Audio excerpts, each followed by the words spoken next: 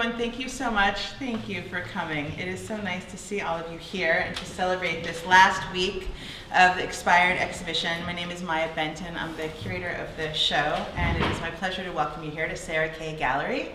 Um, Sara was so generous in giving us this space to experiment with this new approach to looking at photographers, a wide range of photographic practices, engaging with the question of um, materiality and historicity in expired materials in five radically different ways. I am so grateful to Sara for giving me her gallery to, to play with these new ideas. This is the second in a series of exhibitions that we'll be doing together to celebrate our 20 years of friendship. So it's been a, a, great gift to work with one of my best friends and to be able to have her gorgeous gallery to start to think about new approaches to photography and materiality. And I want to thank Susan for being the first artist of the five with whom I had conversations about the show, and it was just a germ of an idea. And she was so in and ready and flexible to kind of go with me on this journey as I started to think about this show. Um, Alison Rossiter is here, who's responsible for this gorgeous wall, and it's just nice to see so many familiar faces. I also um, want to ask all of you to, um, bless you, Thank you. Um, to ask questions at the end because this is, I think, an ongoing and bigger project. We're going to be turning this into a bigger museum exhibition that will travel. There's already been some interest from institutions. So it would be great to have rigorous engagement with these questions of expired photographic materials. And in this moment where there has been this massive digital turn, a lot of photographers are returning to these laborious 19th century artisanal practices of making tintypes or daguerreotypes, but other artists, and including the five here, are looking at the kind of material artifacts of early photographic practices and kind of reanimating them and revivifying them in five radically different ways. So I'm excited to introduce Susan Mikula, who works with old and new technologies. She embraces the unpredictability of expired Polaroid film and vintage Polaroid cameras constructing her work within rigorous self-imposed limits. These rules, these requirements, work like form in a poem or true likeness in a painted portrait. Fulfilling the requirements allows a specific kind of beauty to emerge, one in which an old camera and an empty hallway produce a picture that is both familiar and out of reach. Christopher Bonanos is the city editor of New York Magazine, where he writes and edits stories about urban affairs and culture. He's the author of Instant, the Story of Polaroid, and Flash, The Making of Weegee the Famous, a New York Times Best Art Book of 2018 and winner of the National Book Critics Circle Award for Best Biography of 2018. When Susan and I started talking about her work, she immediately talked about Christopher's writing and um, how their relationship was central to kind of informing her practice as it evolved. So to have them both in conversation here today is a great gift, and I'm looking forward to the conversation and to hearing more from all of you. Thank you both.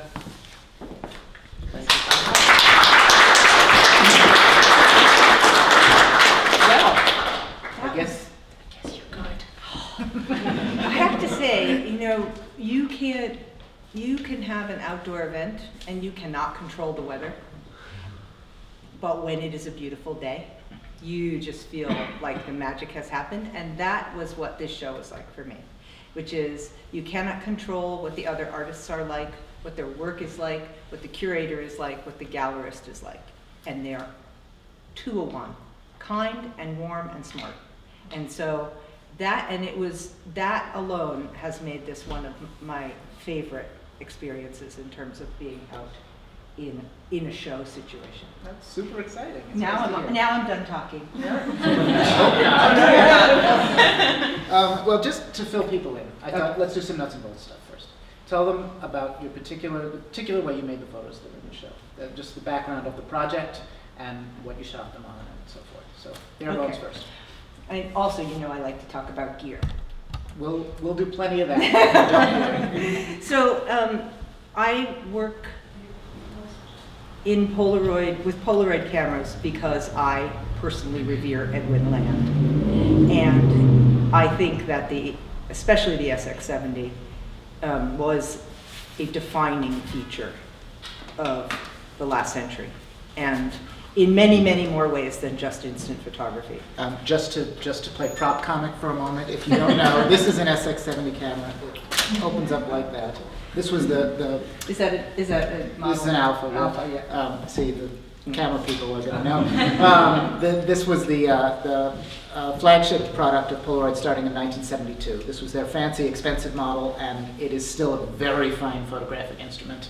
Um, and ahead of its time in many ways, behind our time, and ahead of our time in many ways. That's Anyway, all continue. true. And I believe, I believe all of those things. Um, And I, I like to work with these cameras. I mean, this is one of my favorites, but it's not, certainly not the only one. I love using a Spectra. I love the crazy angle of the Spectra, and I think that it produces a really interesting photograph. And those are the two cameras that were used in these series. So uh, the more squarish format is always an SX70, uh, although it's not exactly square, and um, uh, just to annoy people. And the uh, Spectra is the wide format.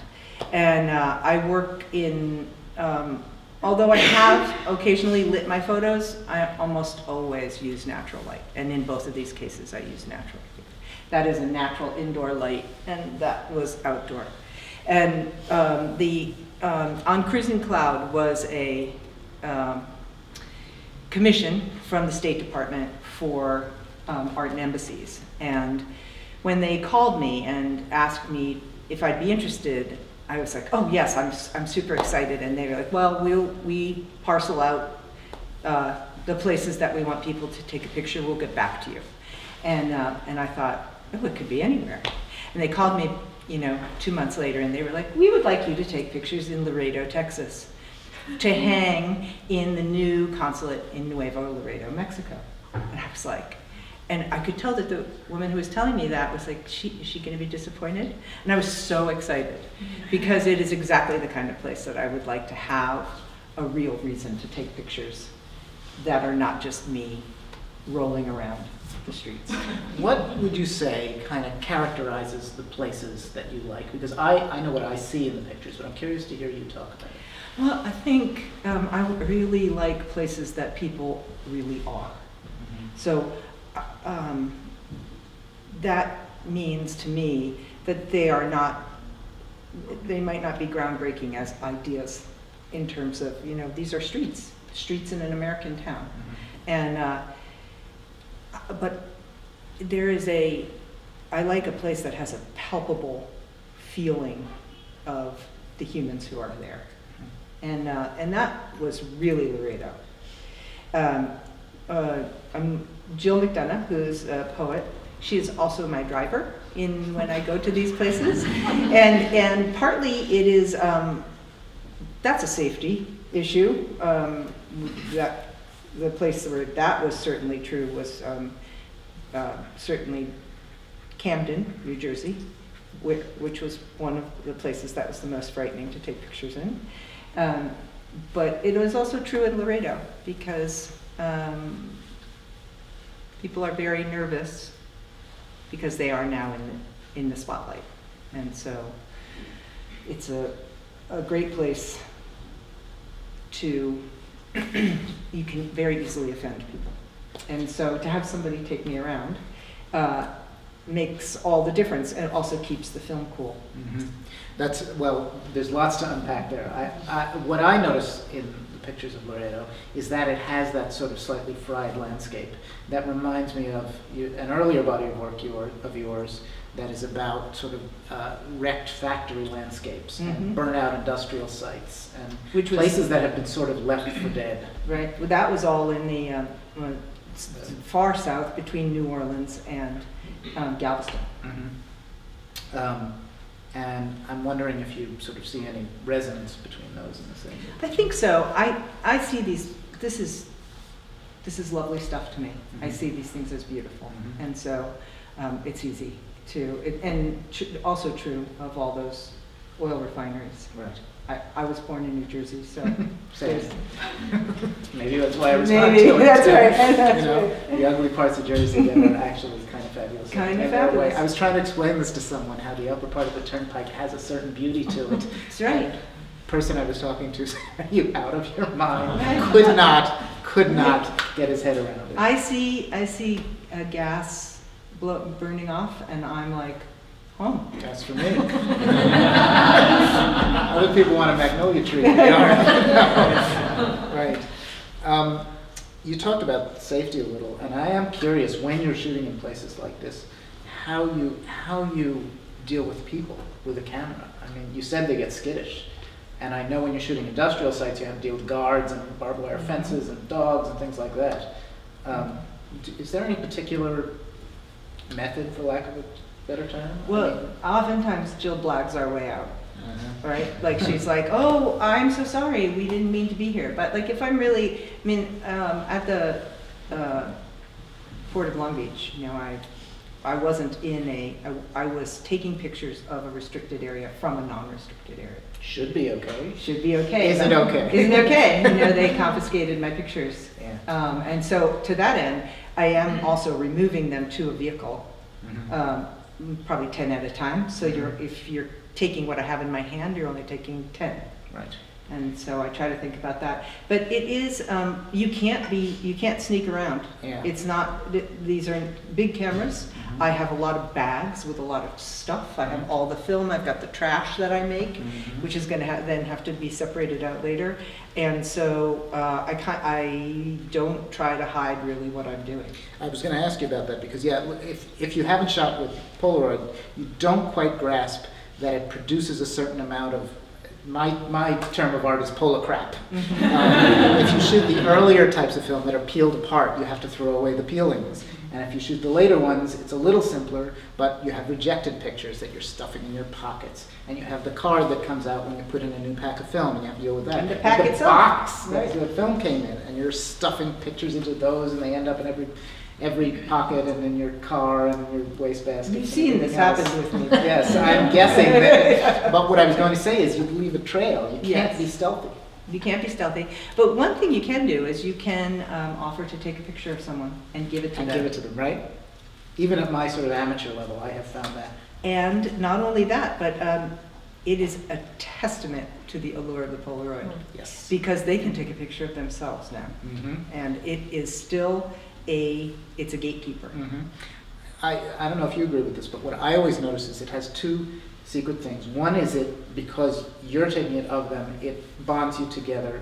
It's a, it's a, a little memoir of the moment you had, It's particularly if you're both in it. Totally transactional. That's right. And secondarily, it's a gift. You're giving a gift. Mhm. And it's a one-of-a-kind gift because there's no negative and there's no digital file flying around, Yes. right? If you give it to them, it's theirs. It's not yours anymore. You can't, you don't have it. Right. You, um, you mentioned getting in, into the car, and for people who don't know, you should explain why that's a big deal.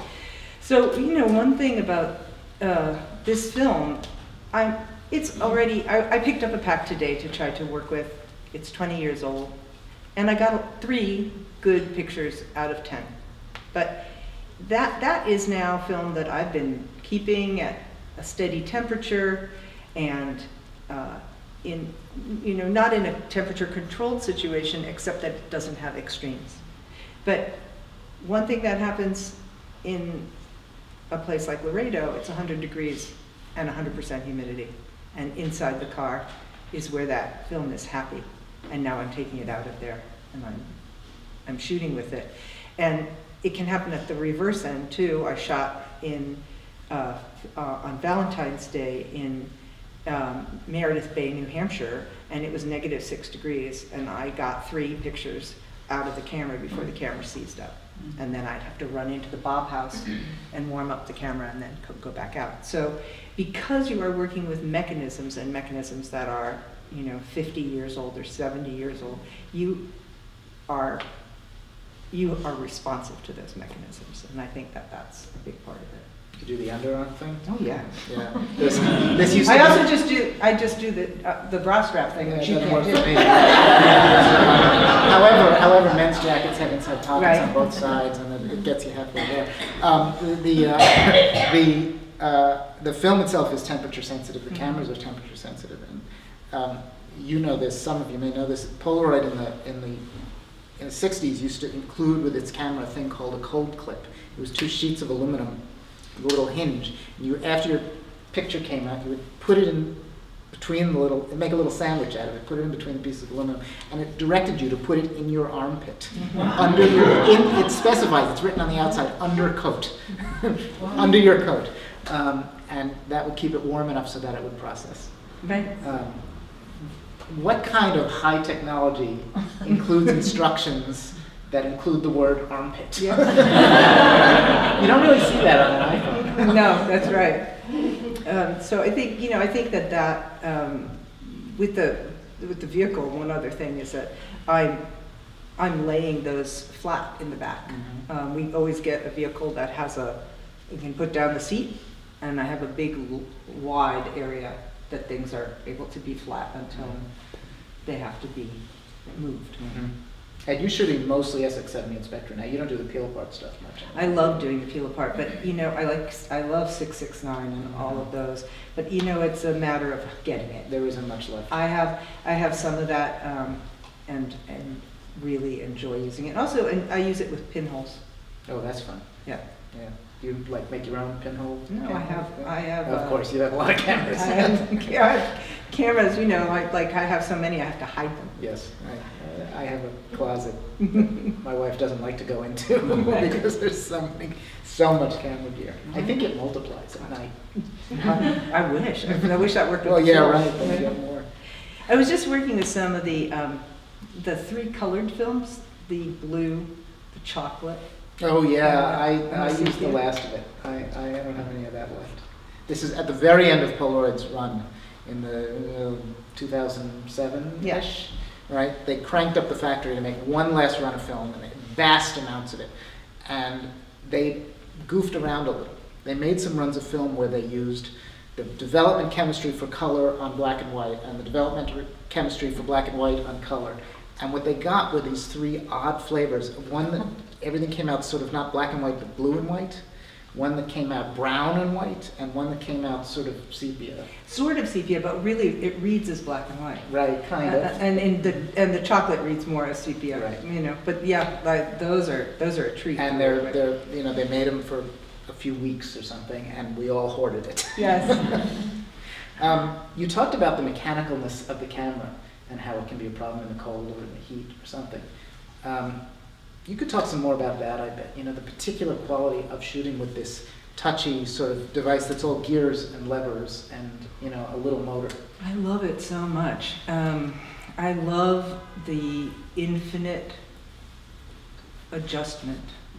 I can make any adjustment. And when I know my cameras, it- um, okay, Maya said, well, do you have a couple cameras that you could put in the vitrines? And I was like, what, what, what could I do without? Like, what, what one, you know, there's SX70s, the lenses are so bad, you think these were ground by Woolworths. Hmm. And there's lenses so good that you're like, this was ground by Zeiss. Mhm. Like, you are just, it is a, it's a, a geological map of lenses that are, that each one is dear to me. I love all my children the same. I just, they're all, they all have a different use, and the lenses are super important, and the way the camera works. I, I have such beloved cameras that I know how long it's gonna take for the picture to come out under certain light conditions, because they're different. It's supposed to be right away, but I mm-hmm. know that this camera waits a second. Mhm. And it's not gonna be a problem, it's gonna come out, Mhm. but it takes a little bit, and then there's the beautiful noise. Right. The noise. When I was working on the book about Polaroid, I talked to some of the old executives, and they over and over said something about the sound. I mean, if you haven't heard it in a long time, I'll give that- I'll just- I once did a radio segment about this, and I got to do it into a really good microphone, and everybody went, "Oh."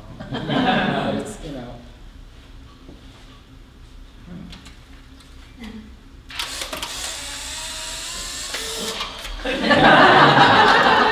And this 680, which um, is, really was their Polaroid's photographer's camera. It was expensive when it was new, really hard to find. This is the same camera that's in the George Magenta sleeve. Yeah, this was the modified version of the one I showed you earlier. This was, I don't know, eight years later, something like that. And it was introduced as the sort of premium expensive one. This gadget on top is a sonar autofocus thing. What it does is it, it, it sends out a sonar ping. It bounces it off Susan and back to the camera to tell how far away she was. And what you saw is that it will, it will spin the lens, and you can't see it in the back, but there you go. Um, and spin the lens to focus exactly right. But you can override it. Yes, too. there's a manual with a, focus. with a very funny little. It's the funniest little, little switch. switch. Yeah, it's I just know. a little switch, but and all I, I appreciate that they made everything. You could override everything Yeah. on every camera, even on the Spectras with the flashes. You can turn the flash off. You can you can turn the focus autofocus off. Everything, and you are back to doing it completely yourself. Mm-hmm. For cameras that were supposed to take those problems away from the person who was creating. That's really true. The, the, the, um, the founder of Polaroid, Edwin Land, who you mentioned earlier, and we'll talk about him a bunch. Let's talk about him. Let's now. talk about him. Let's talk about him right away. Because Uh, Edwin Land is my dead boyfriend. Uh, and from what I've read, there, there, there were quite a, quite a few. um, he, um, uh, you know, his, his goal in the creation of Polaroid photography in general and this system in particular was to eliminate, uh, he said, all barriers between photographer and subject. You should just be able to point it, look right through, and this is a single lens reflex, so you look through the lens. You see what the film is going to see. Um, so all you do is you point and you press a button. That's it. It's supposed to be as simple as the kind of photography we all do now on our phones. It isn't quite if the temperature's a little wrong or if the lens isn't turning quite right or whatever, but it was a little simpler when it was all new, I will say. Right. You weren't using a It wasn't 50-year-old old. camera. Um, but most of all, he wanted that to be a seamless sort of part of your everyday life. And um, that said, he left all the controls available to you also, so you could take over. He, I think, didn't he say that he wanted to make it so that there was nothing between you and the ability to create? That's right. Yeah. He, um, he, he, he, um, he didn't even like the term instant photography because the speed wasn't what interested him. His term was one-step photography. That's what he preferred, and you can hear the difference there. It was about seamlessness. You know, what what we the tech people now say frictionlessness, right? Um, and that was, I think, the point he was most interested in making. Let me ask you. Um, I am pretty sure, but um, you're the you're the boss on this stuff. Um, SX70 isn't that also what the name of the nine, Model 95 was? Um, it was before the Model 95. That's right. The, the, uh, the term SX70 was put on this camera in 1972 after a million rejected other names. What it was was the name for the very first experimental project at the end of World War II that led to instant photography and the creation of Polaroid as a photo company. Before that, they've made other things, optics for the war and polarizing filters. That's where the name comes from they had, over the course of the war, done experimental work for the, uh, what was then called the War Department, uh, the DoD now. And they had logged them. There had been 69 projects before that one. And in 1944, the end of the year, they started Special Experiment 70, um, which was devoted to making a picture that could happen on the spot. And 30 years later, when he felt they had finally achieved the goals of Special Experiment 70, he pulled out the old name and stuck it on the new camera. And that first camera, that was the Model 95. Right. Came out like in 47. 40, introduced in 47, that's Right. right. And Kodak was making negative. Is that right? Still Uh, on that Kodak one? was making components of the film, including the negative layer, Yeah. right. Yeah. Um, they were buying it from Kodak for the next 20 odd years, in fact. Um, it was sort of the dirty secret that their competitor was also their supplier. Right. Um, uh, Kodak, they, they, uh, Kodak didn't believe that Polaroid was any kind of competition. They said, that thing's a toy, we'll sell you anything you want. And then 15 or so years later, they started to say, wait a minute. you, you, you've suddenly got a third of our market share, Right. and, uh, and this, this, this can't continue. And um, that indirectly led to the creation of this camera, because they had to reinvent their film and the whole sort of system in such a way that they could do without Kodak. Right. Then they had to actually be able to produce all those parts. Right. This leads very neatly to yes, this. I think it does. Um, Edwin Land in 1970, um, before the SX70 camera was introduced, um, made a short film for his shareholders about what was to come. Um, they had built a factory, but it was not yet fitted out to manufacture these cameras. And uh, for in, the in. Norwood, Mass. In Norwood, Massachusetts, that's right. All, almost all this stuff was made in and around Boston and Cambridge.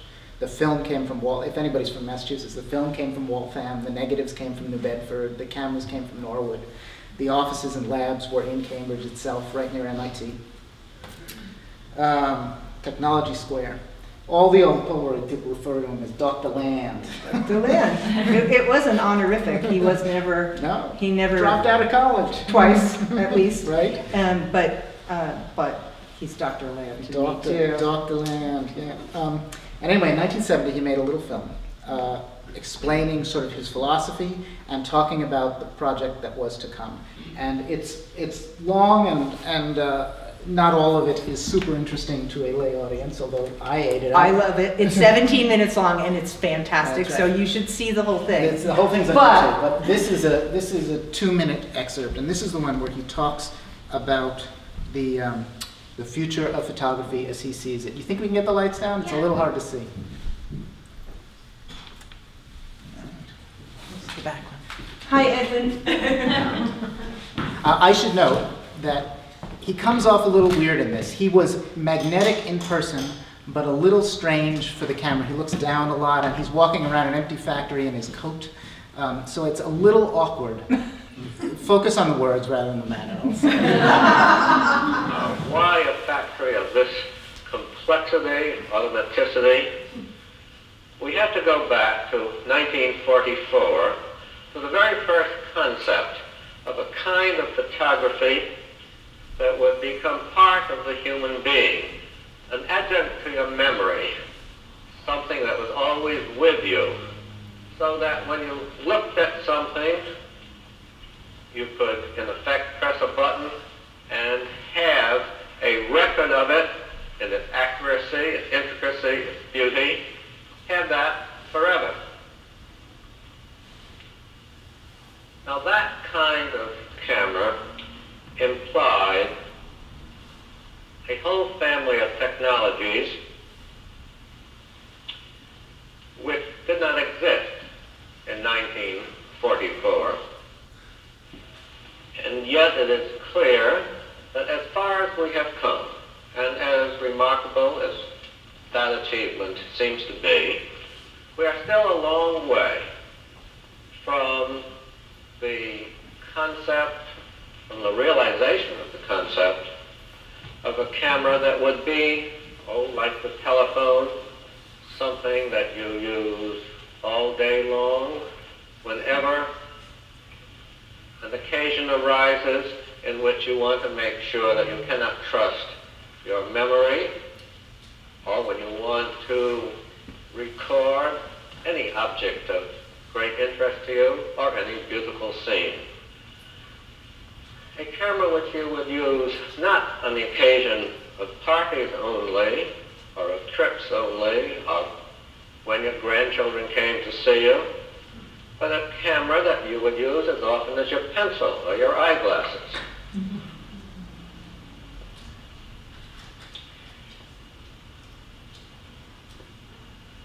They were a long way from the dream which I used to talk about then of being able to take a wallet out of my pocket and perhaps open the wallet, press a button, close the wallet, and have the picture.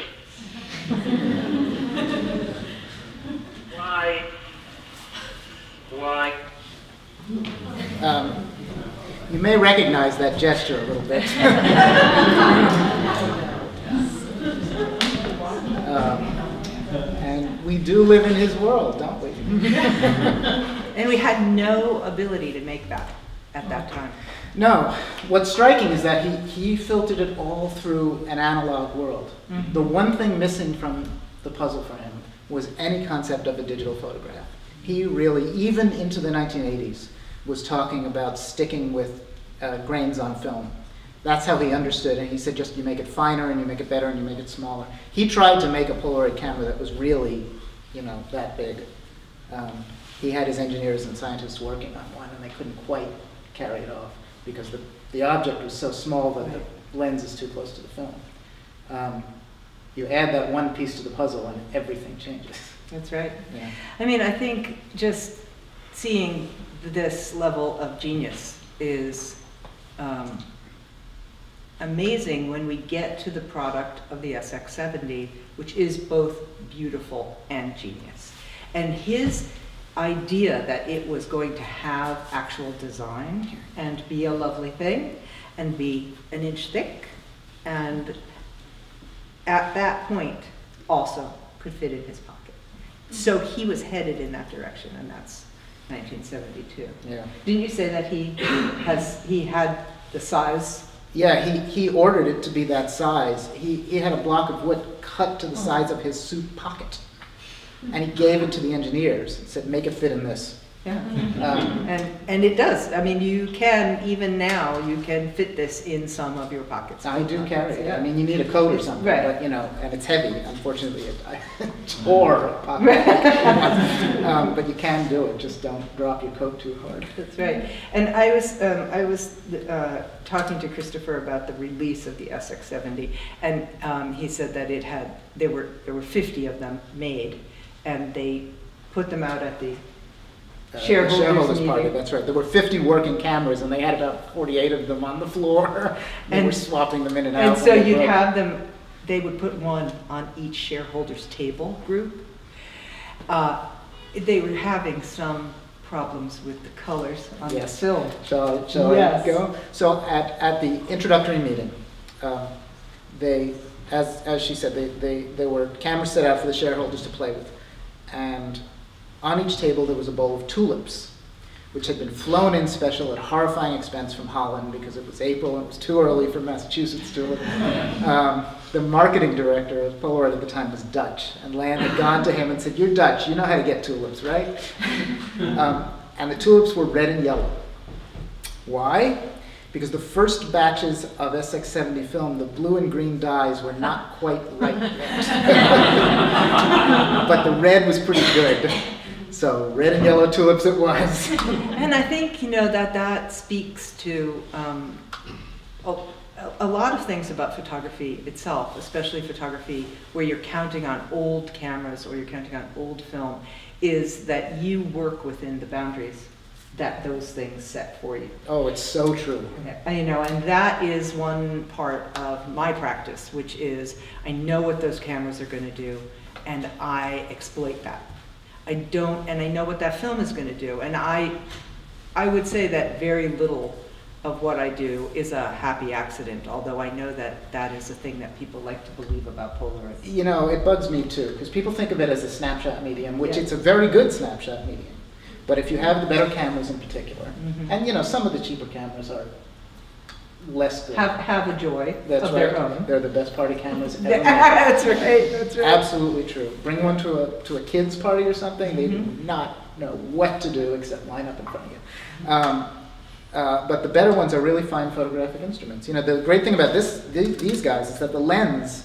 You know, most most amateur cameras go to about three feet. You can't get any closer than that. So the closest picture you can take of somebody is from the waist up. This focuses down to nine inches. I can go in and take a picture of your nose, basically, and that gives you a flexibility because, especially because the frame is small. Mhm. I'm not telling you anything you don't know. I'm just talking about it. But the uh, because the frame is small, you can fill it up with a face or two faces, and because the lens is rather fine and the film is better than people think it is, you get a lot of detail in that face, Mhm. and you also get the peculiar Polaroid color, which when it's on So is like beautiful. nothing else. It's like nothing else. And you were talking about children and instant cameras. When I give instant cameras to children, it is always Fuji based Yes. because that Easy. Fuji film is so saturated and bright in its colors. Fuji red, nothing like Fuji red. It's that is that's exactly right. If they could, You don't need the yeah. tulips. No, you don't need the tulips. But that um, it, kids really respond to the colors in the, the Fuji spectrum. Yeah. You know? And also just the, I mean, the party trick aspect of it, where a picture sort of comes out of the mist right in front of you. Mhm. Um, you know, it worked on kids in 1972 It's or still magic. 1947, and it absolutely is. I always say that if you introduced this stuff now as an advance on digital photography and told people you get a print on the spot, they'd oh, that's that's that's that's, that's a newer thing. That's an advance. It's not retro. That's totally great. Yeah. It's a, it's a, it's a great idea. Um, you know, I think uh, that it's easy uh, because of the way Polaroid was marketed. I mean, you think about like the the ultimately the ones like the one step and the uh, what's the one with Ali MacGraw. The swinger. The swinger, right, where she's on the beach, you know, and I'm like, don't drop that in the sand. Uh, It's but uh, more than a camera. It's That's- almost alive. it- that's It's only nineteen dollars and ninety-five. that's right, exactly. It's from the jingle. They, they, the jingle, yes, that, but it- sadly, you can't really ever Google swinger video. You have to put a more description there. It doesn't help if you add Polaroid either.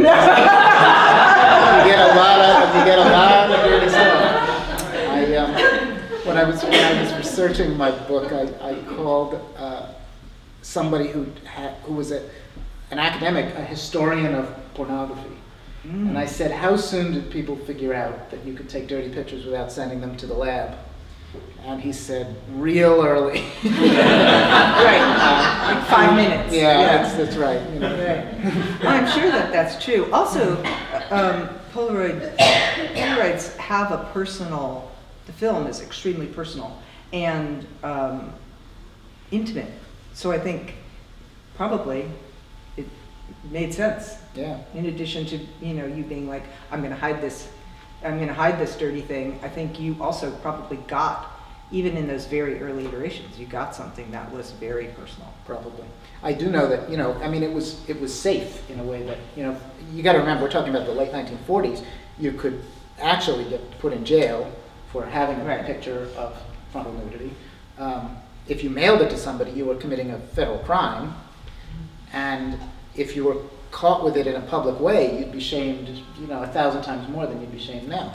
Um, so the, the, the great sort of joy of it, such as it was, was that if you gave somebody that picture, that was it. It was a print, and you could lock it in your. If it was a picture of you, you could lock it in your drawer, and it wouldn't escape, which is never true of a digital image. It can always escape. It can always escape, Yeah. that's right. Um, I feel like I want to talk a little bit about what happens after the picture comes out of the camera. Mhm. Um, and, and that is, uh, we were, we were talking about this the other day too. You take a million photographs, and out of that million photographs, you have 10 you like, and that you think are worthy. And that is the point of being a photographer who is taking image, right? So, and that is the part that is ineffable. There's no way to understand what makes that image right we can we can assign it a million different ways of looking at it. We can be like, it's the it's, this, it's that, it's the composition, it's the color, but it is a much greater thing, and that is the artist represented in that work. And so you get these ten pictures out of the million that you have taken, and um, and that's when other more modern mechanisms come in in my my situation because now I've got a I've got a picture that's that big, and I want that picture 50 inches, and so uh, at that point it becomes part of a more modern mechanism, and it's scanned, and they are they are printed, and how they are printed is always different for every show. These two shows are printed the same, but that is not true of my work. These two shows are, are both archival pigment prints. They're on um, Awagami Kozo paper, which is a mulberry paper. And the way the pigment attaches to that paper was suitable for both of these uh, bodies of work, but not suitable for everything. And so I then have a whole other series of decisions to make in presentation. And in every case, no change is made to the picture. So the goal, the ultimate goal for me, is that picture comes out of the camera, and that is what we are always working to. Make it look exactly. Make like it look that. exact, and in fact, Brian Matlin, who is um, the person who does that for me with the, and talks the talk to those people. Um, You know, it is him saying, make it exactly like that. And, and here's what's not, ex- not right yet, here's what's not right yet. It's because I don't want to change that picture at all. I want, when that picture is right, that's what I want, and I want it to look like that. So that's what these also, um, I think in the vitrines, we have a few of the picture books that have gone on. So you'll see that they don't have that color range anymore. These, these pictures are fugitive. Mhm. So that, and, and that is captured at the best point of those pictures. So, uh, it, and I find really that the curing process is kind of long. It- Oh, know, yeah, it it's a- matures for some it- time. It takes a, it takes a while for these pictures to settle into what they're gonna be, Mhm. so. They have to dry, really, and that can take a week or two. Yeah, two usually is, I, Yeah. I, I try not to look at them again for two weeks, because Mhm. I'm like, they're gonna change. Yeah, yeah. Um, I, you know, I've never asked you this, and I'm curious. There are the ten you love, and the ten you know are right. Out of the several hundred, out of a thousand, Right. there are nine hundred that you can toss. What do you do with the other ninety? The ones that are good but not magic. I asked Rachel. I'm like, could you take a look at these? Did I miss something? Uh-huh. Did I miss something? You know, like, is there, and sometimes she'll be like, she'll, she'll say, I think you missed, this one's, this one's great. And I will say, I know that one's not gonna print. Uh-huh. Interesting. So, Do you keep them? I do. Anyway? I keep them. Yeah, I know. I keep them. They have to be pretty bad for me to throw them out. Yeah. Because I do look back at them and I learn. I still Mhm. learn from, from them. Makes sense. And I imagine in this sort of narrative, uh, yeah, I mean, your pictures tell stories when you group them, right? Mhm. So there's probably stories of the day that Mhm. stick with you, even if they don't matter to, to sort of your, you know, the viewer of your art, right? That's right. Yeah. That's right. Mhm. Um, to wind this up, I thought something you said to me the other day seemed quite profound, and it's that this medium itself is going to go away. That's right. We're talking about expired materials and very old cameras, and nobody's making them anymore. There is film for these cameras being made again, but it's very different. Uh, you, you've had mixed experiences with it, I think, but Mhm. you know, it's, it's a lot better than it used to be. It's a lot better than it used to be. Yeah. But the real thing, the Polaroid film made before 2009, which is the last date stamp I have on any of my boxes, Mhm. it is a finite product, Mhm. and and these cameras are also finite, and uh, so this moment in time, this sweet spot that I get to have, that I get to occupy, will go away, and the that will be sad because of the loss of these of the Polaroid aspect of it, but for me, you know, I, it will become another it will become another thing. I mean, that's Mhm. how artists are. You you work with what you have. You make up something. You make something up. That's what artists do. They make stuff up. they make stuff up. That's right. But I I do re, I do recognize that I am in I am still in that sweet spot, and I Mhm. appreciate it just hugely. And I think um, every time I get to use these cameras and use this film and think of my dead boyfriend, um, I am really thankful. I am incredibly thankful that his vision is still something I get to work with. Because it is really art from the mechanism. And uh, I, I am incredibly thankful that I'm a part of that mechanism as well. You're going to be the last one. Nobody else is shooting this but a few people. I know, because that's what's, that's what's there. you Yeah. know?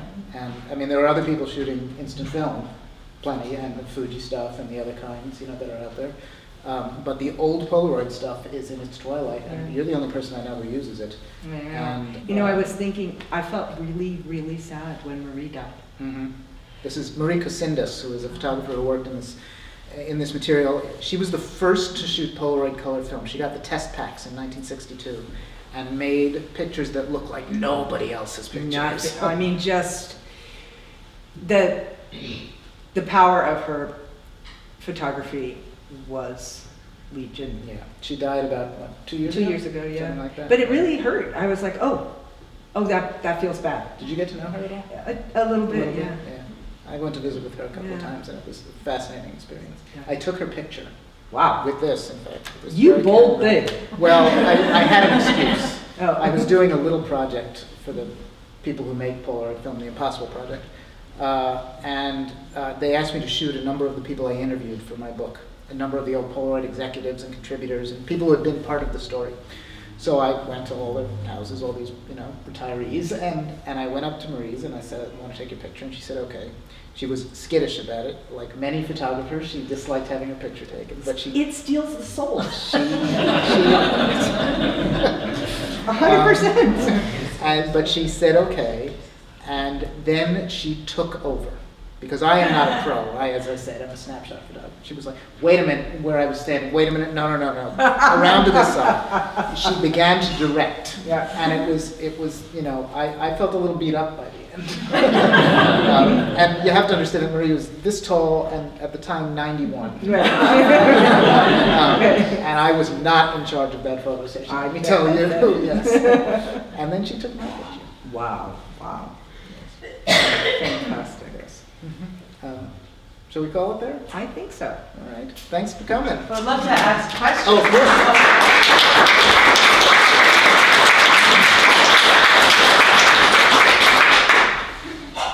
Does anyone have any questions? Two hands. Ask them, ask Well, them. because this is such a finite resource, do you have an idea of subjects or places that you want to shoot before it goes away? It's a great question, and um, I am I am hell bent for America. I have to say, like I could see, I could see as many places as I could see. Like I would love to take pictures all over the country. Um, I think a little bit about um, the places that I, I want to go, and then I I am in certain places, and then I sort of dance with who's there. You know what I mean? Like it. Um, but I I really I would, and I would actually I'm ready to do another series of nudes. I haven't done that in a while, so I feel like I'm, I have a different idea about bodies now. So I'd like to do that. Go ahead. Um, is there a project that you've worked on that you feel that you've connected with more than any other project? Is there one that you would just, out, that's an outlier that you call your baby? Hmm. You know, I I don't know that answer. Uh, I'd have to think about it because um, when it takes me a long time uh, to think about my projects.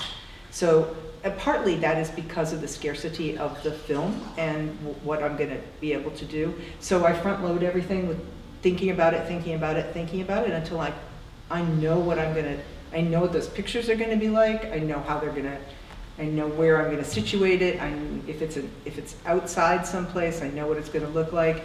Um, Jill was teasing me the other day about the fact that I spent six months um, researching all of the streets in Laredo from Google Maps and looking at you know placing the little person there and looking up and down the street and trying to make decisions about where I wanted to drive first and This is how I do everything. Yes, right? Like. I- you know, like you, you don't, you don't just, because you have this very small amount of film available to you, I mean, relatively speaking, you don't just go out and do it. So to come back to your question, um, sometimes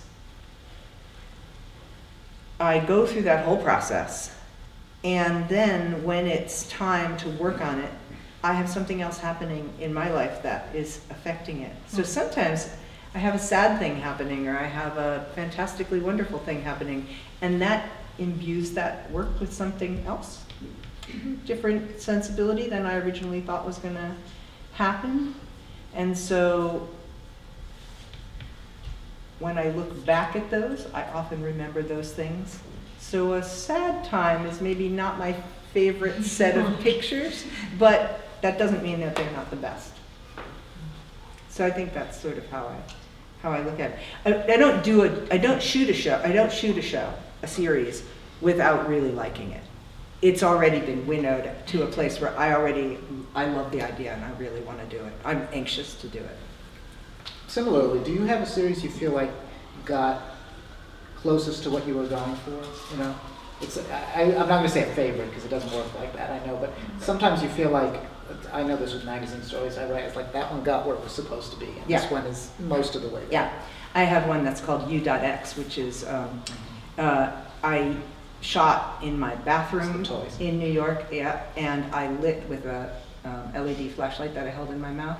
And I had really, it was about the shadows. Mhm. It's all about the shadows. It's all about, it's not, in fact, in most of those pictures, you cannot really see.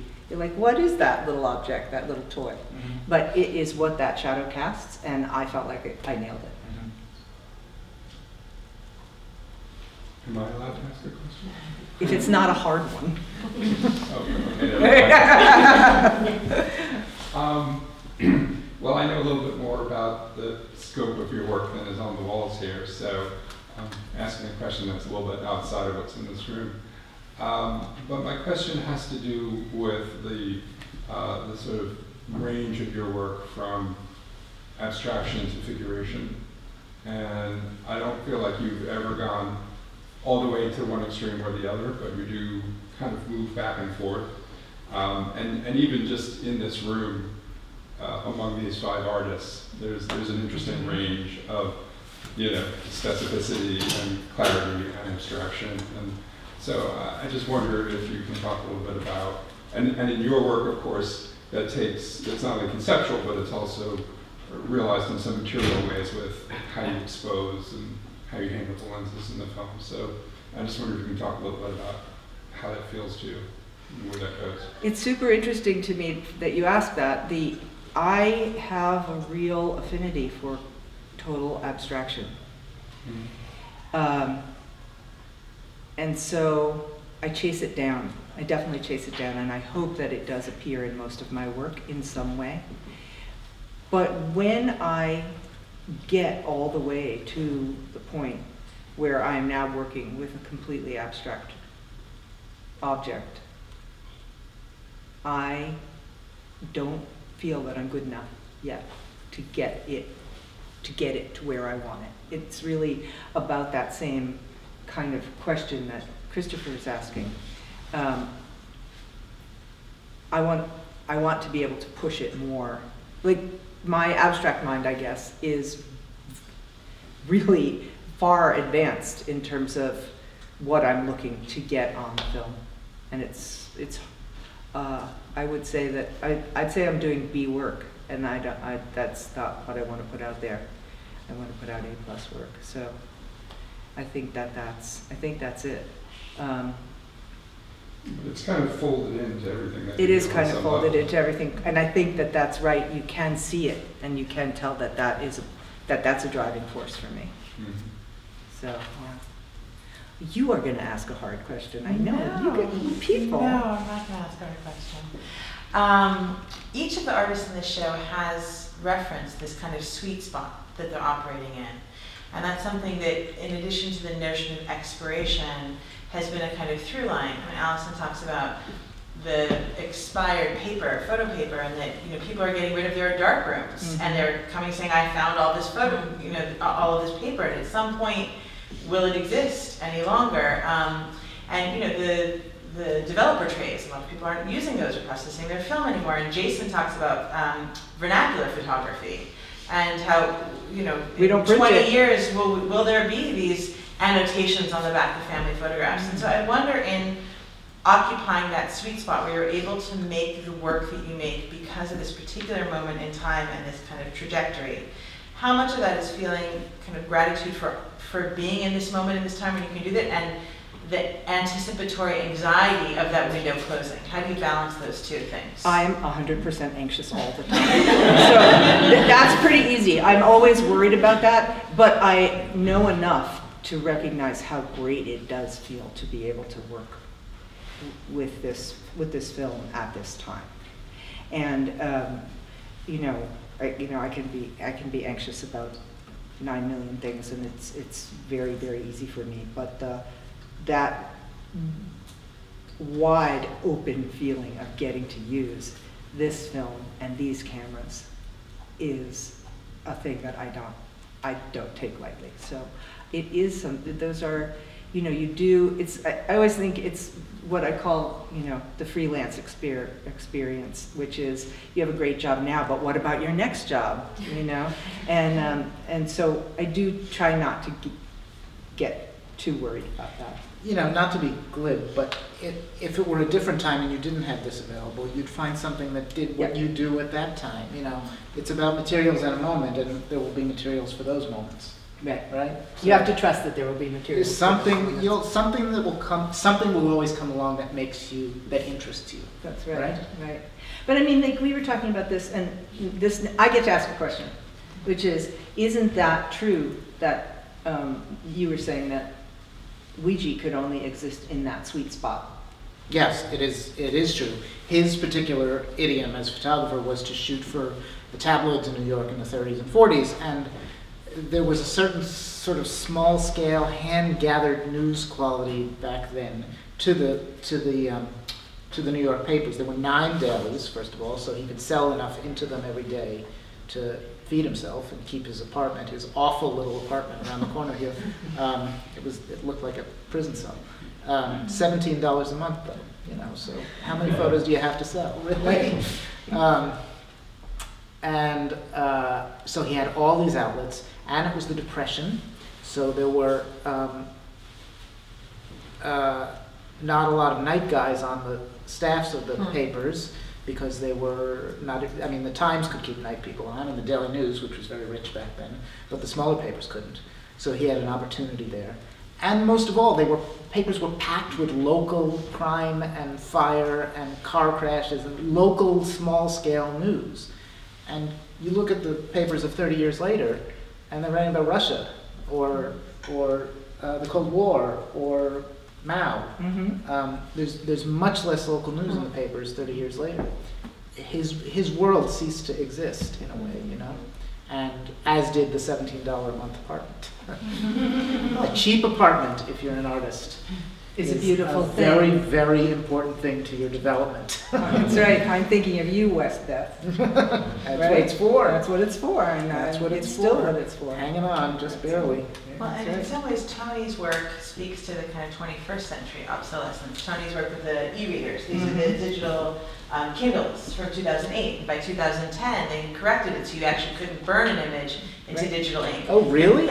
Know that. Oh, so this is that's it then. These, Yeah. This was this window, but it was a window from 2008 to 2010, and the obsolescence just ramped up. But he also, mm-hmm. he with very 21st century materials, found this mm-hmm. sweet spot. It's just that the obsolescence was so Really but it shows that in a way, there's always this. Even if you love the notion of expired materials and reanimating them, there are things that are being produced now that might have a year or two window, and then That's you can right. go back to those. So it doesn't sh- it doesn't end. It Yeah. just evolves. That's Yeah. right. This is all, it's only tangentially related, but Land used to talk about that. The reason Polaroid was able to innovate as much as it did over and over and over, over 50 years of market dominance, was because they locked up their patents early, and then they had their first product, the instant the camera of 1948, was a hit. So they had cash coming in, which funded the labs, which allowed them to develop the next project with a cushion, which allowed them, which was a hit again. And they, you know, and so they always had money coming in, and they always had enough money to sort of blow on projects that might not work out because one of them would kick out a billion dollars if it scored. And, um, you know, that doesn't happen anymore because the tech cycle is so much faster. Um, he used to get 10 or 15 years between product introductions. And, you know, if you have patented a product related to an app or something now, 18 months later, someone's beat you. You don't have enough time to build up the, the cash to develop the next thing. That's right. Didn't the first camera sell out at Jordan Marsh It did. on the first Introduced, day? introduced on Black, what we now call Black Friday, the day after Thanksgiving. They had, um, they brought 50 cameras to the store, that- no, 60 cameras to the store that yeah. day. And, uh, yeah, you had. They thought it was gonna- they and thought I said, that'll hold be us till Christmas. Christmas, yeah. They thought it was gonna be till Christmas and sold out that day. There's a photograph of the store that day. This is Jordan Marsh Department Store in Boston. Uh, there's a photograph of the crowd at the camera counter with the salesman standing on the counter. It's so packed, and it's holding- They sold all 60 cameras, plus they had a dummy demonstrator, you know, just propped up, and they, they sold it by mistake. it didn't, didn't work. That's so funny. Allison, you had your hand up. Oh, it was a nuts and bolts question, and um, has to do with eBay. And so, are you, um, do you prefer the Polaroid film from the past that you find on eBay? Is that your source, or are you shooting the newer materials that are made by Fuji that fit into your cameras? I Um, shoot both? some, I shoot some modern stuff from Impossible, which is also now called Polaroid originals. Polaroid Originals. Yes. The Um, minnow ate the whale. The They minnow- bought Polaroid, the That's right. carcass of Polaroid. They bought the carcass of Polaroid. Um, and Impossible comes from a, from a Land quote, right, about being ambitious. Don't, don't try something if you- it's not Unless it is uh, ambitious and nearly manifestly impossible. important and nearly impossible. Right, right, Right. Nothing's worth doing unless it is ma- uh, right. manifestly important and nearly impossible. Um, but so I do use, I do use some of those. I don't like them as much for color reasons or, um, they are more fugitive even than some of this old Polaroid. Um, but I do, and I do buy on eBay. Um, but I also, you know, I get film from people, which is nice. And sometimes someone will find two packs of film, like in the back of their closet or in the back of their mom's closet. And um, I love being able to use those. I, they're in my bag, I found. See? I brought them for you. Yeah, so, and, so that's good. I also, I bought as much as I possibly could immediately prior to it. Because I'm also old, so that's another benefit, which is um, that I, I could buy the, I could buy the, I was an adult who could buy the film at that time. Right. And not have it in a place where the, where it's going between 40 and 80 degrees. But you must, I mean, people must give you paper, right? Yeah, it happens, yes, and it's lovely when it happens. Right. eBay is really my source, Mm-hmm. and, um, and it is finite. It, it's Yeah. true. What used to be um, plentiful 10 years ago is now, I wait months for something to come about. But, um, but I've never looked film up, you know, the Polaroid materials, and so I wonder how rare that is to find the materials available. Well, um, like Christopher was saying, some of them are pretty hard to lay hands on. Um, if you're looking for 600 film produced in 2009, you probably could find it with some ease. 600 was what you buy at your grocery store or your drugstore, you Oh, know. that's right. So you'd see a lot. You'd see a lot of that. Um, However, the demand is also higher for that, so the prices creep up. the prices You gotta spend real money. Yeah, you have to spend real money on all of these things. Um, and also the, you know, the cameras, there are cameras that are rare. Um, the one that um, Christopher showed you at the beginning, and that one is really, really hard to find. And if you're finding it, you're paying, you know, quite a bit of money for that, for something that you don't exactly know how, what the condition is gonna be. Right. You have a guy that fixes, I assume. Yeah. We all have a guy. There's always a guy, and I'm not telling you who it is. My, my guy's in Wisconsin, that's all I'll say. Although, the Brooklyn Film Camera people. I've now, heard about that. They, they have a repair desk. They'll do it for you. Wow. And, and it's right here, so I can take it over and theoretically. You know, some, some stuff you can do on your own, you know, some Mhm. stuff you, you, working with these cameras, you do figure that stuff out A early. little bit, yeah. All right. get up to thank everyone. So I want to thank Christopher and Susan for first entrusting me with her work and being the first artist to jump on board with this idea when it was really just I told you, I, what Maya said to me was, I'm thinking about thinking about something.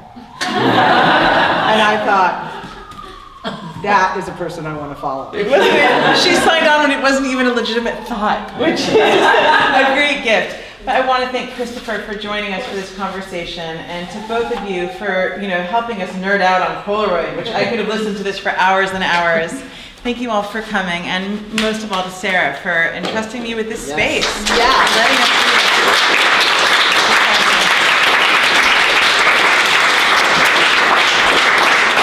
This show is only up for, I think, four more days, so please stay and look and ask questions of Susan and Christopher and Alison if she's willing. Um, I'm sorry.